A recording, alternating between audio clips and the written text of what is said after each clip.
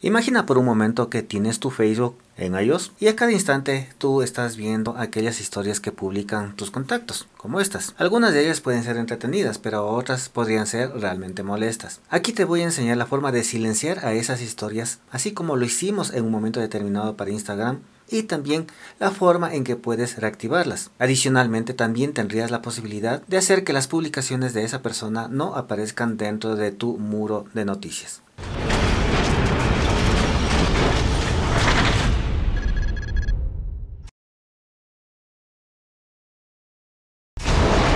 Vamos a poner un caso hipotético. En primer lugar, debo de mencionar que yo no tengo absolutamente nada que ver con estos contactos, es decir, no tengo ninguna situación en contra ni nada por el estilo. Simplemente el método lo estoy utilizando como forma demostrativa o lúdica. Asumamos como ejemplo a este perfil. Le voy a dar un toque largo y en la parte inferior me aparecen unas cuantas opciones, tal y como lo pueden ver. Aquí mismo me dice si quiero silenciar la historia de Karen. Si no sé quién es Karen, puedo utilizar el botón que dice ver perfil. Revisaría absolutamente todas las publicaciones de esa persona, sus fotografías, su biografía y si veo que no, no me interesa absolutamente ver nada de esa persona, pues bueno, sí, puedo silenciar su historia tocando ese botón. Me aparecerá ese mensaje que dice que si quiero silenciar, digo que sí, silenciar. Y de aquí en adelante ya no veré yo a esa historia. También puedo hacer lo mismo con las publicaciones de esa o de cualquier otra persona. Bajemos un poco en las publicaciones y esta primera que está aquí, vamos a tocar el botón de tres puntos que está arriba. Y aquí me aparece un mensaje que dice que si quiero ocultar las publicaciones, bueno, en primer lugar guardar la publicación, ocultar esta publicación o de una manera más drástica ocultar las publicaciones de este contacto durante 30 días.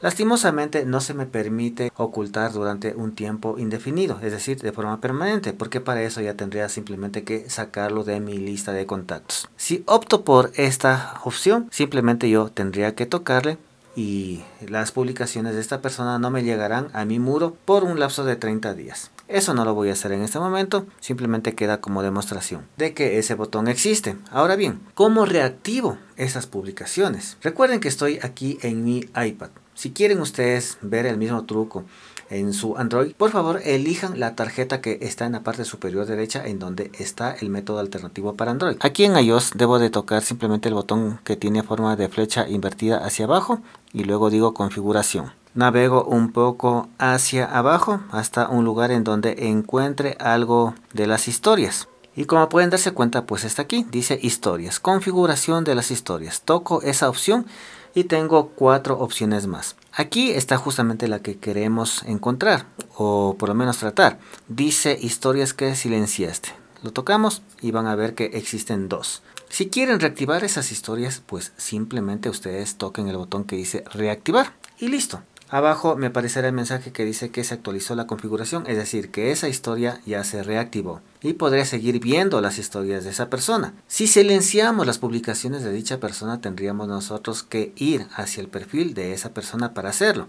Como se darán cuenta, este contacto tiene una historia, pero yo no la veo porque está silenciada, justamente para demostrarlo en el video. Y en la foto de perfil a un lado del botón azul que dice mensaje y el del teléfono está un botón de tres puntos. Lo tocamos y aquí hay una opción que dice oculto. Lo tocamos y me aparece el mensaje indicándome que está oculto temporalmente, que faltan 16 días para volver a ver las publicaciones de esta persona. Al parecer ya pasaron 14 días pues y se cumplirían los 30 de rigor.